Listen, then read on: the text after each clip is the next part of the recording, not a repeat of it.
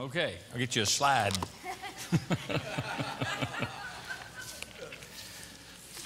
Praise the Lord.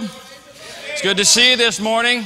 Sunshine outside. It's, maybe I'll just meet out there. I didn't, know what that was when it first came out yesterday. What is that?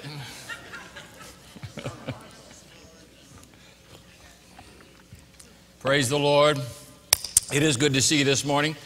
Um, the sermon title uh, hopefully will kind of speak for itself what to do when you don't know what to do. Anybody there today? Uh, I, one thing that comes down to sermon preparation, I, uh, I spend a lot of time preparing to prepare, if that makes any sense. Laying out, you know, uh, each quarter as it comes up, and hopefully by the end of the year, by somewhere around this time of year, I kind of have the whole, for the most part, planned out. Well, that didn't happen this year. It's been very frustrating. I'm one of those kind of guys that, you know, I like to have a plan and go according to that plan. Then, with the, everything that we experienced at the end of the year with loss and family and all those other things, that just, uh, for those who experience those things, you know exactly what I'm talking about. It kind of paralyzes you mentally. Anybody been there? Uh, I, I, was living mostly there anyway, so it made it even twice as hard. But uh, I told my wife last week, I said, you know, uh, I'm really struggling.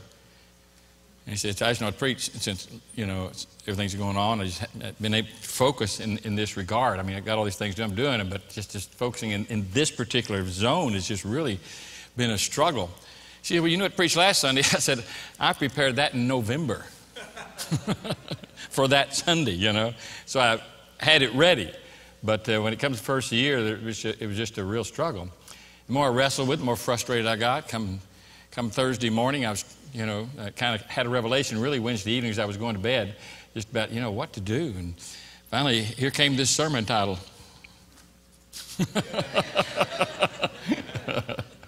I said, That'll preach. What do you do? so just going back over a lot of life experiences and taking the Word of God and looking for those basic principles which we need to adhere to, uh, this, this message has been born in the furnace, so to say. But I really believe it's a good word, especially, you know, January is always a, a time of introspection for a lot of people. We look at our life, where we've been, where we're headed, you know, uh, try to make some adjustments, you know. I'm going to lose weight, whatever it's going to be like that, kind of all falls into category. Yeah, it's, it's into January and you lost already. Okay. It's not too late to start doing what's right. Remember, we've discussed that. but uh, in the context of all that, I really believe this is a message that, that will minister to you because it has to me. And I usually know when something's going to minister to you because it's ministering to me. Contrary to popular opinions, pastors are people. Some of you weren't crying. That's a shock. Hold on. They are people. And so many things that, uh, that are birthed out of my heart and spirit in, in sermons or stuff where the Lord's just leading me and speaking to my heart about anyway. So if it's, you know, it's, it's something that uh, I, I want to be, I don't want to be preaching to people things that I'm not listening to myself or hearing from the Lord myself. But as I started looking at this message, there's this one passage. I couldn't remember the context or the text of it. So I got out good old concordance, you know, and started searching it out. And, uh, and, and, it's in Isaiah, and that's the passage that I want to share with you this morning. In, in Isaiah chapter 50, it has these words Who is among you that fears the Lord, that obeys the voice of a servant that walks in darkness and has no light? Let him trust in the name of the Lord and rely on his God. Behold, all of you who kindle a fire, who encircle yourselves with firebrands. Walk in the light of your fire, and among the brands you have set ablaze, and this you will have from my hand, you will lie down in torment. Basically, he says, you know, there's, there's a couple kinds of fires. One's the one God lights, and there's one that you can light. He said, you know, who, what servant is there that, that, that walks in darkness? What servant of God that has no light? Let him trust in the name of the Lord and rely on his God. Now, for further reading, if you want to look at this passage a little bit clearer, I really encourage you to do so because the context of it is, uh, is in the context of the Lord Jesus. And it's a messianic chapter. And it's talking about that when the Lord comes. And there will be times when the servant of the Lord as is referred to here, which is Messiah. He's going to, there's going to be this time of darkness, all right, where we know uh, the, the Lord Jesus went through that time in Gethsemane. We see that prophetically in Psalms 22, what would happen there And so we know that this, there's a beautiful application.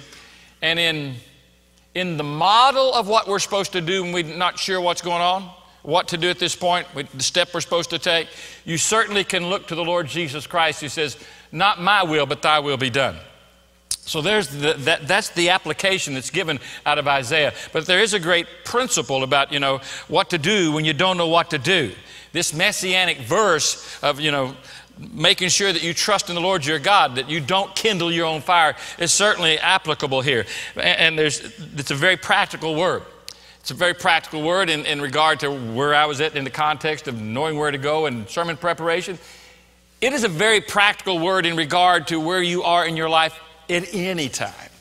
It may be in the context of facing an issue in your own family or business or uh, looking for direction or having a, a, conflict in a relationship or maybe something going on with the kids or could well be that that very time that you're in life and we've all been there when it seems that all the odds are against us and we're just not sure what we're going to do at this point in our life. Now there's two things that you can do here according to isaiah 50 one is verse 10 wait for the lord to kindle the fire. Two kindle your own fire. Now, there's a lot of biblical uh, examples we could go to today about men or women who kindled their own fire and didn't wait to hear from the Lord. You, you see a, a, great illustration of that is Peter, you know, when the, when, uh, the Lord uh, is arrested and he kind of goes and sits by the wrong fire and he's there and he's compromising his, his walk and he's lying about his relationship to Jesus and, you know, and he's denying the Lord. He, he's at the wrong fire, so to say. Now, Judas is an example from the beginning. Obviously, I think that, that he comes on board and he's just looking to, to get Jesus to uh, fit the form that he wants him to fit. And there's a lot of people who do that today. You know, we want Jesus to be the Jesus of our making, but that's not the way it works. He's the Lord of glory and he's transforming us. We're not changing him. So if you're trying to get Jesus to fit your mold, your philosophy, or your theology, no, it's, it's not going to work that way. You're going to have to embrace what he says. Then one of my favorites, and we preached on David before in, uh, in, in, this context in 1 Samuel, uh, where David is running from King Saul. Remember, he's been embraced by Saul, he's lived in the palace. Saul's son, Jonathan, becomes his best friend. And with the encouragement and the counsel of his best friend, he's, he's, he realizes he better run for his life because Saul is out to kill him and, and he's pursuing him. And this goes on for several years.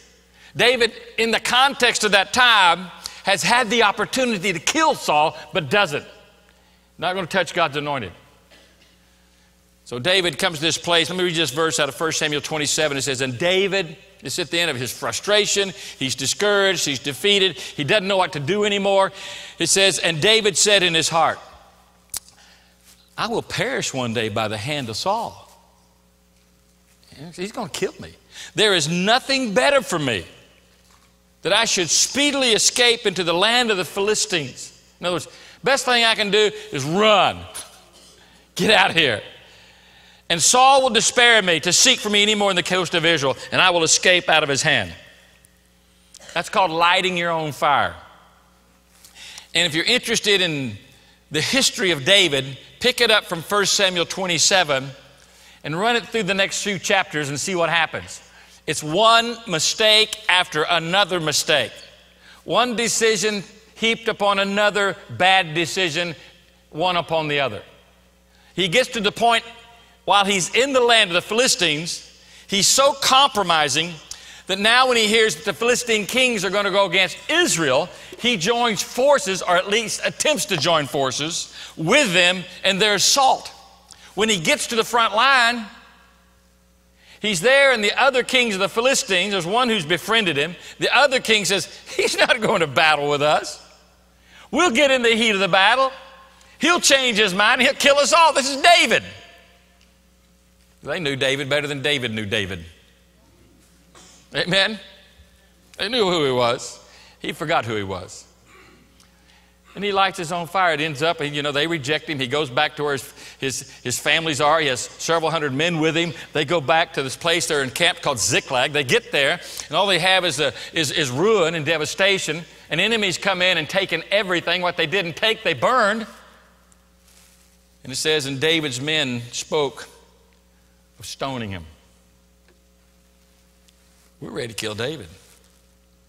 It says, But David sought the Lord. And so he takes some steps in here. And you read through the Psalms some of those steps and read through his testimony of those steps. Those are some good biblical illustrations of lighting your own fire and how, it ends up in trouble. But I bet today, if we were to take about five or six or seven hours, maybe longer, we won't, so just hold on. You'll be on time for lunch. You may even beat the Methodist, I'm not sure. But we could probably ask for testimonies today of people who've kindled their own fire, who've made their own decision, not waited to hear what God wanted to do, and made that decision. Well, and what does it say in verse 10, verse 11? They laid down in torment. They said, oh, What have I done? I mean, I, I want to ask you, but how many of you could give a testimony like that today? I made a bad decision. It cost me. Come on, raise your hand. You don't have to give the testimony. All right, see, they'd take a long time, wouldn't it? So I don't have to tell you how to fail here, do we? We want to know how to succeed in the decisions that we need to make in these kind of situations. I mean, the worst thing you can do is, is what it says there in verse 11. You know, you kindle a fire, you encircle yourself with firebrands. In other words, you're taking your fire and you got a bunch of other fires as well, and you think this is what, what I'm going to do. He says, You're just going to lie down in torment and you're going to miss God completely and you're going to waste your time. You know, there is a way. We, we, we easily can come up with a plan B, so to say, on our own and decide what we're going to do, and then we're going to miss God. Uh, Proverbs 14 puts it like this There is a way which seemeth right unto man, but the ends are what? Ways of death. This way looks good. Excuse me. Read the signs. The street sign says, Death this way.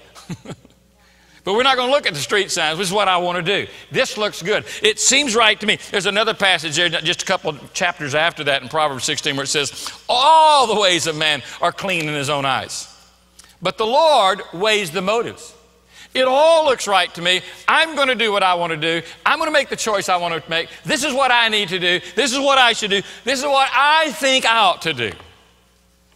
And that way leads to death, it leads to fear. It's the way of unbelief. It's the way of frustration. It's the way of loss. It's the way of bondage. The Bible says that the way of man is a snare, it's a trap. Why? Because man is born in sin. Man can't see past a moment. But God sees all things in all eternity, and God knows what your greatest needs are in your life. But we ignore that. We just light our own fire. Listen, let me give you a little simple lesson. You can't do the wrong thing and expect good results. You just can't do it. You can't do the wrong things and expect good results from that. So when you've come up with your plan and you know in the back of your mind that it's the wrong thing to do, don't think that just because you decide to go ahead and do it, it's going to be okay. It's going to work out. It's going to be fine. This is what I want. I don't care what the Bible says. I know what God says. I know what Mama said. But hey, here's what I want to do. And that always equals trouble.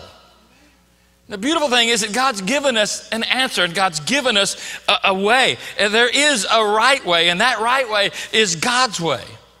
And let me just give you a little insight as I talk about these four steps this morning. One is this God is doing a greater work than what most of us can see. God is conforming us and transforming us and He'll do whatever it takes to make sure that I am transformed and changed to what He wants me to be. In other words, the real issue with me and God and what God's doing in my life is not my, my good fortune or my happiness or my prosperity.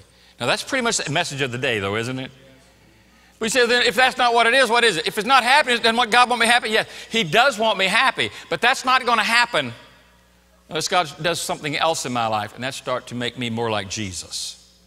God's plan is to conform us. And that's what it tells us. And that's what Paul writes to the church in Romans chapter 8. He says, Listen, this, this is the will of God. Those whom he foreknew, he predestined to be conformed what is God doing? Predestining us, predestined us to be conformed to the image of His dear Son, that we, He might be the firstborn among many brethren. God comes, He saves me, and He changes me. He makes me a new person. And that new person is now being shaped by the work of God through my circumstances, through the power of the Holy Spirit, through situations, through calamities as well as through good times. God is using all these things. All things work together for good. What's the good? This confirmation. That's what it's talking about in Romans 8. God wants us to be like Him because the more I'm like Him, the more I know Him. And that's why God's intending ultimately is that I could walk with Him, have fellowship with Him, know Him. That's not going to happen if I'm not like Him. There are going to be some changes in my life.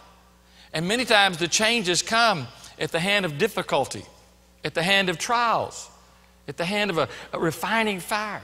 So remember, as you're deciding and making decisions, God is working a deeper work. He's doing a greater thing in you than what most of us really even begin to comprehend. God's making me more like Jesus each and every day. He's pressing me into Himself that I can be all that He's designed me to be. And that's His way, that's His will. Psalm 17 is for me, this is David saying, I will behold Thy face in righteousness, and I will be satisfied with Thy likeness when I awake. What's He saying? Um, if I look to Jesus and I'm pursuing Christ and I'm yielding my heart, making righteous decisions, being what He's called me to be, He's working His likeness out in me. And I'm being conformed to the very image of the Lord Jesus Christ. The right way. God's way has this underlying work of the Holy Spirit in my life to make me more, excuse me, and more and more like the Lord Jesus Christ. So, how, what are we doing? I have a decision to make. I don't know what to do. I've come to this dramatic crossroad in my life. And now a choice is going to, have to be made. What am I going to have to do? Well, bottom line is, is this. I, it, it gets down to this. I'm going to believe God. You know, I want to believe God. I'm going to trust God. I really am going to have to rely on Him. and, excuse me, something's trying to bite my throat. And not my own intuition, my own decisions, my own choices. And the bottom line for all these little steps I'm sharing with you, these four things, this is the first and the foremost and the most important. David summarized it in his own life this way. He says, Trust in the Lord. Do good. In other words, do what he tells you to do. Dwell in the land. I love this part. Cultivate faithfulness. Delight yourself in the Lord. He'll give you the desires of your heart. Commit your way to the Lord. Trust in Him. He will do it. And He will bring forth your righteousness as the light and your judgment as the noonday. Rest in the Lord, wait patiently for him. Do not fret because of him who prospers in his way or because of the man who carries out wicked schemes. Don't worry about others. What is God doing in your life? catch these, these, these, points real quick. Uh, uh, see how it works out here where he says, Trust in the Lord, delight yourself in the Lord, commit your way to the Lord, rest in the Lord, wait patiently for him. These are all actions, these are all steps that you can take when you don't know what to do or how to do, perhaps, what God's telling you to do. Let's look at it. This is the, the context of what I believe these four things are what it really means to, I believe, what we're getting down to trust in the Lord. Trust God. And the, and the bottom line here is trust God always. Even when you don't know what to do, you keep trusting God. Even when you're not sure what the next step's going to be, even when you're not sure where the Lord may be leading you, trust God. So that sounds so trite. No, it's not trite. There is, there is a, a level of commitment that's involved here. And I think it's this. And one, I'm going to willfully keep remembering who I am. Remember, we said a while ago, David forgot who he was. The enemies knew who he was. The devil knows who you are. That's why he's always going to question it. He knew who Jesus was. But what did he say to Jesus? Oh, if you're really the Son of God, three times, yes, if you're really the Son of God, he didn't want you to know. Who, who am I? I'm a child of God. Who am I? I'm indwelt by the Spirit of holy God himself. God lives in me. This body's the temple of the Holy Spirit. I'm not my own. I've been bought with a price. Therefore, glorify God in your body and your spirit. They are God's. That's what the scripture says. Amen? Who are you today? And I think sometimes you need to make that declaration. Uh, this is who I am. I'm God's. And that gets down to this point of who I am. It's who I belong to. That's where that ushers out. Who I am is identified on the basis of belonging because the Bible says there's only two heads, all right, in all the cosmos, and one is the devil, who is a pseudo head, a pseudo Lord, a pseudo authority, and then there's the Lord Jesus Christ. And every person ever born falls under that pseudo head to start with. And when they make a decision to come to Christ, no longer are they under His headship, they transferred into the kingdom of light, out of the kingdom of darkness, the Bible says, into the kingdom of light, and now you're under a new headship. I belong to God.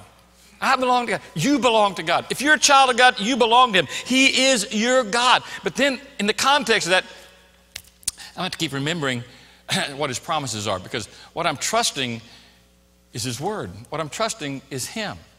But if I don't know Him, If I don't know His Word, then I'm going to have a little trouble trusting. That's why we get back Sunday after Sunday. And I know I may sound like a clanging cymbal at some points, but you have to, on your own, by your own strength, get off your lazy behind and get in the Bible. Oh, that's pretty weak. Do it again. You know it's true. you got to get in the book. I mean, if I were to sit here today and say, listen, I need you to do a little favor for me. Oh, yeah, Brother Joe, I love you, anything. I'd like you to go to Istanbul and pick me up a falafel. I love falafel. Okay. How did I get there? I have no idea. Oh, by the way, you can't use a map. well, you might get it all figured out in the end, but it'd be a long wait for my falafel. God doesn't tell us just randomly stuff. God gives us instruction. God, the Bible says it's a light, it's a, it's a lamp, it's a guide, it's, it's illumination. I mean, over and over again, it's instruction, it's His counsel. He's given it. And the Bible says He will guide me with His Word. So they're called the precepts, the principles. If I don't know those, how am I ever going to know what to do in situations? And the more that you and the more that I take in and ingest the Bible, not talk about the Bible, not go hear a sermon about the Bible, but personally, individually take some time and sit down and begin to absorb this. As we said last week, Job said, I've esteemed thy word more than my necessary food. This is more important than breakfast. This is more important than lunch. Some of y'all breakfast is not important too, but you ain't gonna skip a lunch, you skip breakfast. I've esteemed this, this is more important. So I'm gonna trust God, but that means in trusting God, I'm gonna have to get in His Word, aren't I? But it needs to be a daily habit. I mean, this is a good time of year for folks because a lot of people, and I've talked to several even today, says, you know, I started, I'm reading the Bible through this year. Well, that's a good thing to do. You say, well, I don't know how to do a systematic study. Then find out one of those little schedules that says how to read the Bible through in a year or the New Testament in 90 days and get to it and start reading it. And you'll be surprised what God starts showing you and what God speaks to you, and you'll be surprised what you retain that you didn't think you retained. Thy word have I hid in my heart that I might not sin against God, the scriptures say. So get back to the place. If you're making revolutions or resolutions, make that get back to the Word of God and say, I need to get back in the Word. That's why I know what to trust Him for. I know how to trust Him. And the more that I read it, and the more I hear it, and the more I say it, the more faith becomes alive to me, and the more I have to respond on, to step out on because I believe God. Trust God. What are you facing today? You can trust God. What are you dealing with? It's difficult. Trust God. The second point is this, and it goes right along with it, and I think there is a sequence that, that we have to go through here. The second point is this praise God. Always. Trust God, always. Praise God, always. Oh, Brother Joe, I'm, just not, I'm, not, I'm not one of those vocal Christians. Well, repent. You can't be right with God and not be a person who praises the Lord. It's impossible. It's just impossible. You, you can't do it. It's, it's, biblically, if you refuse to obey His commands, then obviously you're not right with God. And the Bible says, I will bless the Lord at all times. His praise shall continually be in my mouth. My soul, mind, will, and emotions, will boast in the Lord, and the humble shall hear thereof and be glad. They won't be offended.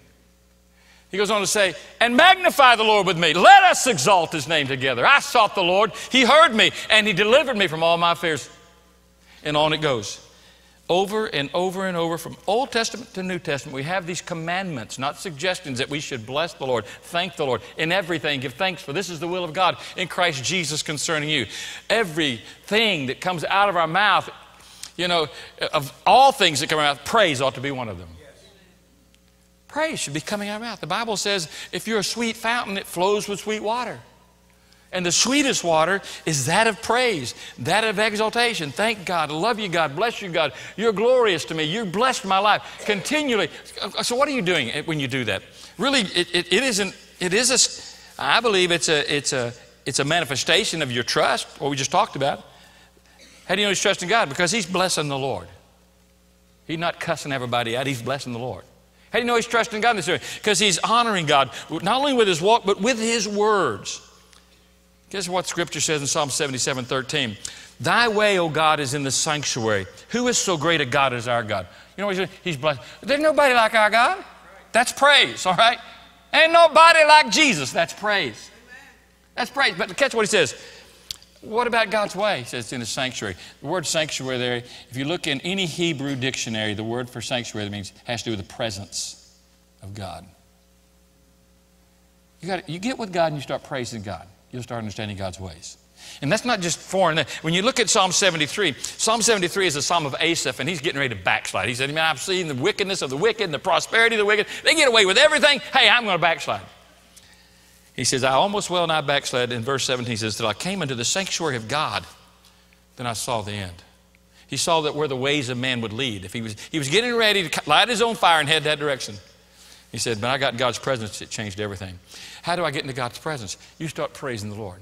Enter in, it says, with thanksgiving. Enter in with praise. That's how you enter in the presence of God. You start recognizing the presence of God. And one thing that praise is doing, it's a recognition that you're here in my life, Lord. Therefore, I'm communicating with you. The worst thing you can do in your marriage is never talk to each other. The worst thing you can do in your Christian relationship is never talk to Jesus. Never recognize Him, never acknowledge His presence and you'll have an empty Christian life. It's possible to do that. But you take time to listen. You take time to hear. You take time to communicate. So praise God. That's a step. Jeremiah is what I call the, the prayer key. Call on me. Pick it up. Make place the call. Call on me. I will show you the great and mighty things that you don't know. And by the way, can I say honestly, if we'll all be honest here, there's a lot going on in my life and in your life that we don't know about. There's a whole lot going on right now in your life you have no idea it's even going on. Because right now, if we could pull back this veil of the physical and look into the spiritual realm, we would see angels, we would see demons, we'd see all kinds of activities going on, we'd see Satan laying pl- plans and, and traps for us, we'd see the angels protecting us, we'd see the Holy Spirit guiding us. We don't see those things. We see through a glass darkly. God said, Hey, you want to see a little bit more? Then you come to me and you talk to me. I'll show you the things you don't know. I'll give you some insight. And boy, how we ever need insight. Probably change you know, what we say a lot if we had some insight, amen? There'd be more, more blessing than cursing if we start getting the insight that we need. Psalms 138 says, One, On the day I called, you did answer me. Thou didst make me bold with strength in my soul. Isn't that a great passage? The day I called, you answered me. God's hearing. We're not always seeing and we're not always listening. So, how are we going to start? Brother Joe, I got this situation. I just don't know what to do. Here's what I'm thinking about. Oh, no, hold on. Whatever you're thinking about, don't strike a match. don't light a fire near that thing. it's combustible. Let's see what God has to say. Let's take some time and let's, one, let's say we're going to trust God for an answer. And number two, we're going to begin to praise God. We're going to get in God's presence. We're going to spend time with God. We're going to communicate with God. And we're going to let God begin to open our ears, open our eyes, open our heart, and let us see what's really going on. The third step here is commit to God. Because once He does speak, there's a response. You know, that, that's why we even give invitations at our church. Because we believe that when the Word of God goes out, God speaks to our hearts. I believe all kinds of things are going on when the Word of God is preached, whether Tim's preaching or you're teaching, or whatever. I believe that there's a lot in that unseen world we don't see. The Holy Spirit's planting a seed. God's opening your heart and mind to something. He's giving you a word of faith about something. He's acknowledging something or giving you peace about something. He may be healing something in your life. That's just the power of God's Word, all right? So there's a lot that goes on. So that once I begin to submit to the Lord and worship Him and trust Him, then He begins to give me some revelation and some insight. And this always involves, uh, obviously, the communication aspect, but also involves the action part. What am I going to do here? Lord, I'm going to come to you and I'm going to begin to trust you with this thing. And I'm going to begin to praise you and believe that you're giving me the word and direction I'm going to need and am needing. At the same time, I'm committing this whole thing over into your lap and into your hands. The Bible says, Cast your burden upon the Lord. Even Jesus said, Cast your burdens on me, and He will sustain you. And He will never allow your righteousness to be sh- the righteous to be shaken. All right? God said, I'm going to take care of you, is what He's saying. It's a problem. I'm going to, hey, don't sweat it. Chill out. I'm going to take care of this. But you need, you need to surrender it to me. And you need to surrender it with all your heart. Because what, what happens when we get to these kind of crises in our life many times, when it's a big deal, we can't sleep at night. Our minds are going back and forth. You know, maybe in a relationship thing well, he said, she said, I said, you know, gets into all that stuff. We're rehearsing in our mind. You know, am I the only one that does that? No. So I'm a people too. All right? We just get all, we get twisted inside. We get in turmoil about it. We get frustrated about it. It robs us, it steals from us, and it cheats us. Here's what we ought to do we ought to take that thing and roll it over to the Lord. Commit it to the Lord. Proverbs 16 says, You commit your works to the Lord, and your plans will be established. God, I, am giving you everything I know to give you here, yielding everything I know to yield to you here, and I, I am trusting with it. what we talk about, when we did the book of Philippians where Paul said, you know, he says, don't worry about anything, pray about everything. The reason so many people are so stressed out in the culture we live in, we just worry about everything instead of pray about stuff. Commit it to the Lord. Well, this is a big deal. I just don't know what to do. What to, I know what people are telling me to do. I know what things to do. But I, I'm not sure what my next step is. Hey, commit it to the Lord. 1 Peter 5 says, Cast all your cares, all your anxiety upon Him. Why? Because He cares for you. Let that sink in just a little bit. Kind of like a little tea bag. It needs to get in there a little bit longer. Get the juice out of it. he cares for you. When's the last time you realized that? Oh, yeah, I know God loves me. No. He really does. Well, there's not a lot lovable about me. Yeah, I know. Me either. but he still cares for me. And he's committed to me. So much he sent his son to die for me, amen? He cares for you. For, so for before you run out the door and do something stupid, he cares for you. He don't want you to do something stupid. So you commit this to the Lord. I remember, I remember some of y'all remember the late, great Mickey Bonner. I remember him preaching out of this passage. He had a great sermon on this one verse in Proverbs about commit your way to the Lord. And he, he got into this Hebrew illustration of what this word commit, and he, he talked about in the context of this word of commit, it means to literally to roll something over onto something. Like you'd push a stone down, but it, it, most time in the context is it was used of two people going along the road, one carrying a heavy burden, and they would take turns carrying it. And so they would stand back to back and have a way of rolling that load off onto the other person. He said, That's exactly what you're, you're rolling that big load off. And that big burden, whatever it is, you're going to roll it on over to shoulders that are obviously capable of handling, and that's the Lord. Amen. Cast my what? Anxiety. Better than Prozac. Better than Xanax. I know some of y'all don't believe that. Better than any of the what we call mother's little helpers is the grace of God. Put those things on Him. What's He to? He knows how to handle them. He's been there. He's walked where you've walked. Now, I said there's always this, this involved this, this aspect of communication and action, but there's also another part that it involves, and it involves waiting. And I left the word out. It should say this always involves waiting. Always. Sometimes just a little bit, sometimes it could be a long time before your answer comes but you wait. I need to act. No, you don't need to act until He tells you to act. But I need to move. No, you don't need to move until He tells you to move. You wait. You're waiting on a very reliable source. And remember, what's at the bottom of this whole thing is you becoming more like Jesus. All right, not you getting your answer. And so often our goal is to get the answer, not to be like Jesus. I think once our goals start lining up with His goals, maybe the answer comes a little sooner. But the idea is here that I'm going to wait upon the Lord. Listen to Psalms 37 rest in the Lord and wait patiently for Him. Now, the word rest there is a word which means to stay in one place. What David do? He said, Oh, if I stay here, I'm going to die. I got to get out of Dodge. I got to move. I can't put up with him any longer. I can't deal with her anymore. I can't handle this problem. That neighbor's driving me crazy. That boss, I kill him if I stay another day. And on and on the list goes. Shut up. Be still. Sit down. Wait on the Lord. Don't light your own fire. Don't put your own kindling out there and kind of get a spark going. Rest in the Lord. rest, stay in one place, and here he says, wait patiently. Psalms 40. I waited patiently for the Lord. He inclined to me and he heard my cry. I mean, we made a little chorus out of this song. I waited on the Lord my God. I waited and he heard my cry. It's the same thing, but it's not just to sing it, it's to do it. What does Psalm 62 say? My soul, wait in silence for God only, for my hope is from him. Now, this word wait is the same word here. It, it literally is to, be quiet, stay in one place.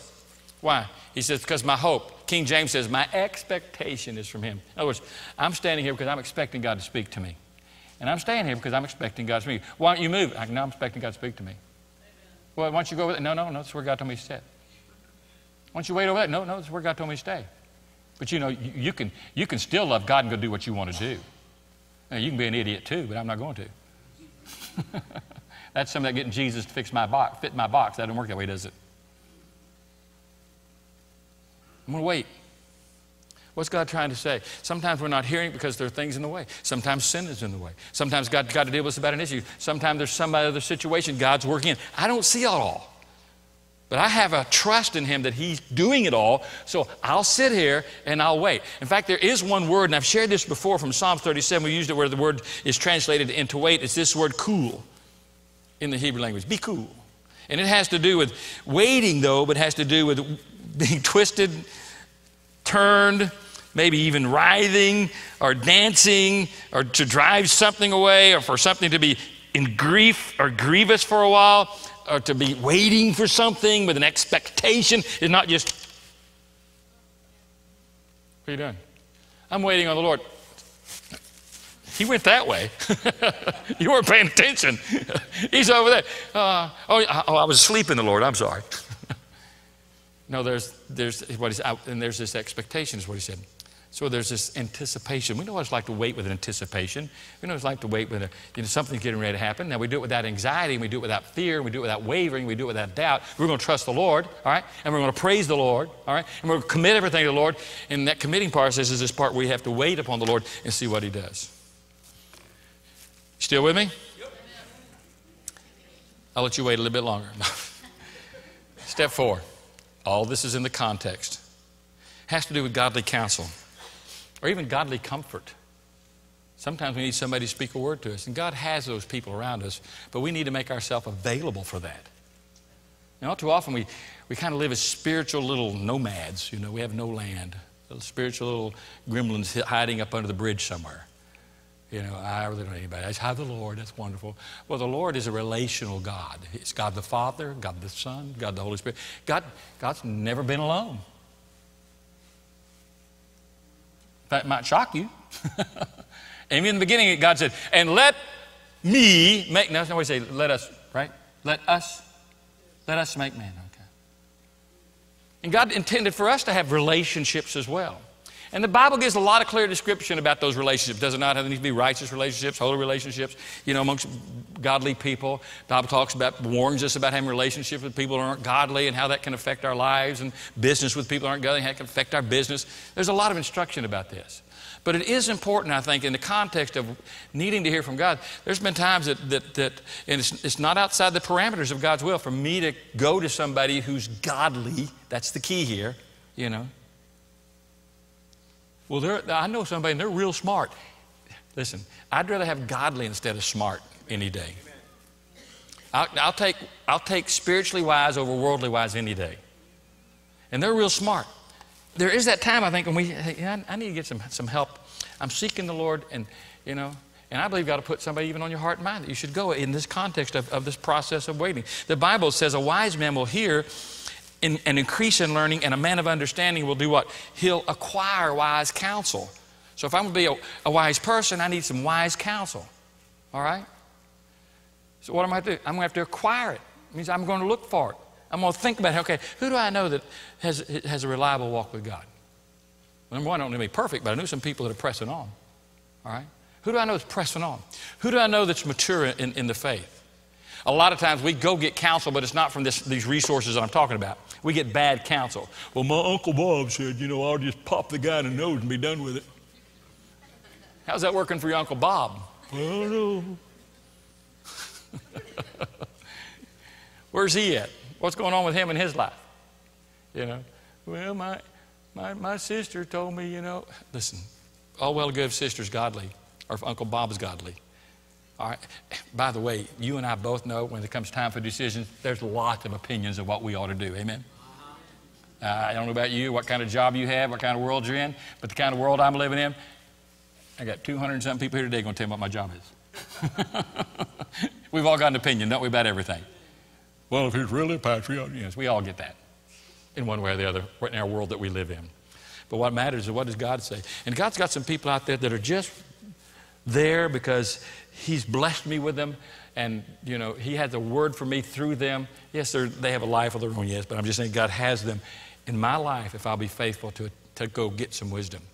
And there's been lots of times when I've, I've been in situations I really needed. I, you know, one of my greatest fears, I think, in my life is I, I just don't want to miss God. You know, I, I, just, I don't want to turn around five years and say, oh, man, I missed that turn.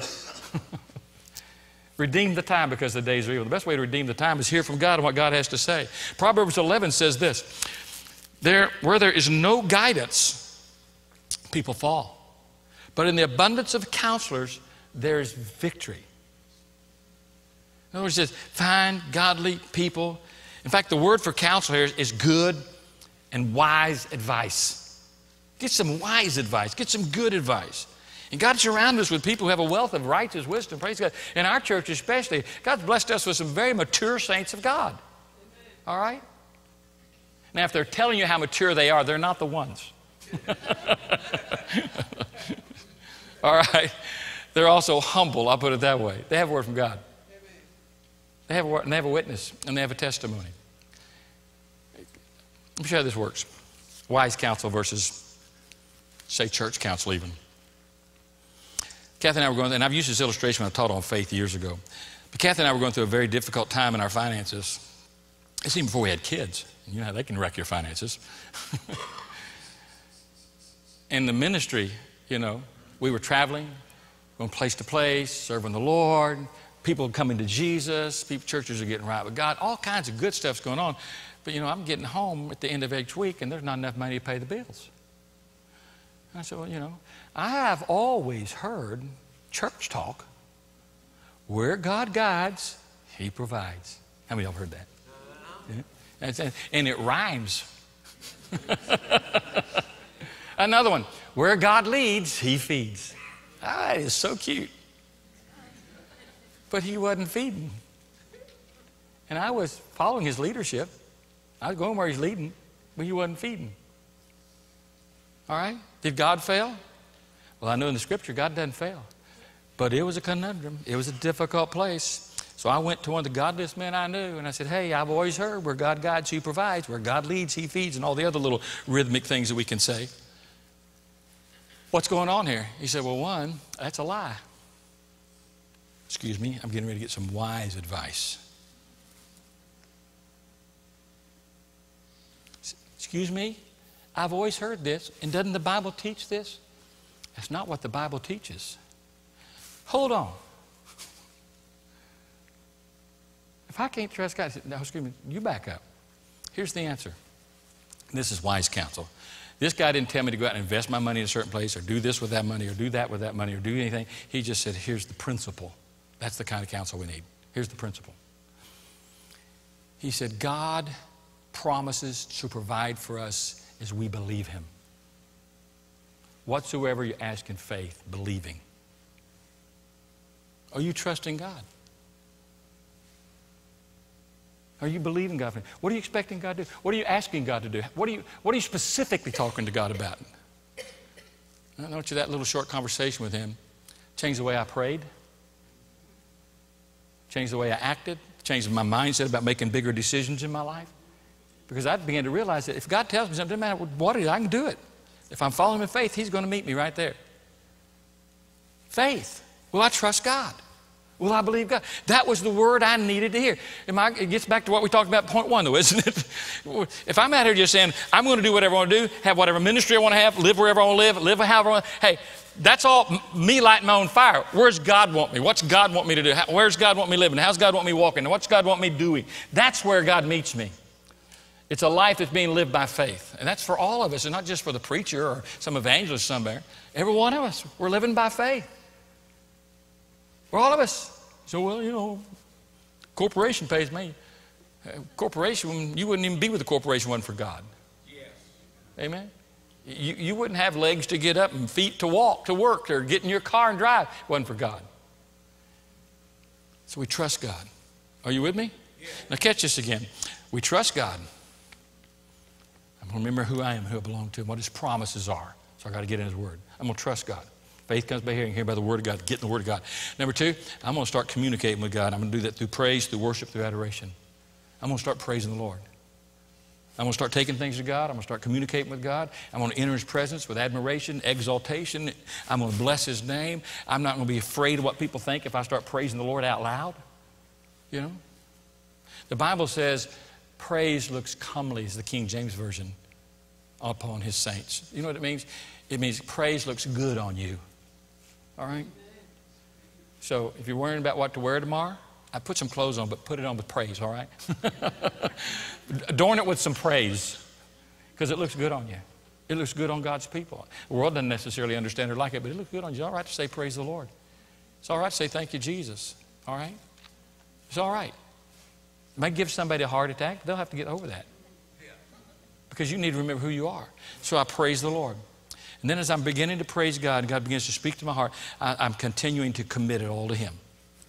I'm rolling my works over on Him. I'm trusting with Him. I'm putting in His hands. And that's a day by day step because, you know, I've laid everything down. I've been through a day where I've been trusting the Lord and giving everything over. And I wake up in the morning, all of a sudden, the first thing on my mind is, oh, that dilemma, that situation, that conflict, whatever it might be. Oh, what am I going to do? Well, I'm not going to sit here for another day and worry about it. I'm going to commit to the Lord. I'm going to give it over to God. I'm going to trust God with it. I'm going to see what God does with it. I'm going to see how God leads me, how He guides me, how He opens my eyes to see the things that I haven't seen in this deal before. I'm going to praise the Lord. I'm going to commit my ways to the Lord. And lastly, I want to talk to my brothers and sisters in Christ who walk with God, who love me, who care about me, who I love and care about. So next time, you get to the place, I just don't know what to do.